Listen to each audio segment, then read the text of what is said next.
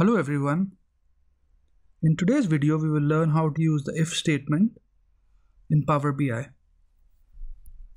So uh, I've got this data here with me which is from the DIM customer table in AdventureWorks and I've uploaded this tape or I've got this data into my Power BI desktop and this file I've also uploaded to uh, the GitHub repository and the name of the file is 2017 1123 I will leave the link to this in the show notes so you can grab this uh, file and do the tutorial along with me.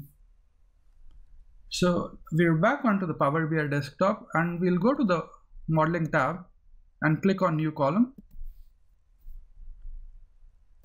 And we'll call it gender description. So we've got, as you can see, I've, we've got this gender column here, FM, and I want to have female or male written.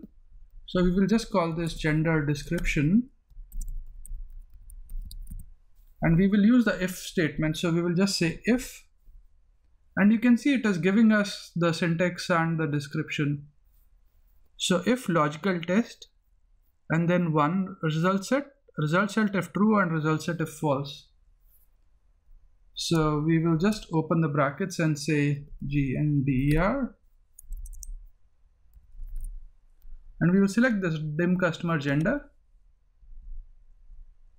and we will say if this is equal to m then we will say male else female and we'll hit enter. And as you can see it has given if you go scroll towards the right it's gives giving us value gender description female or male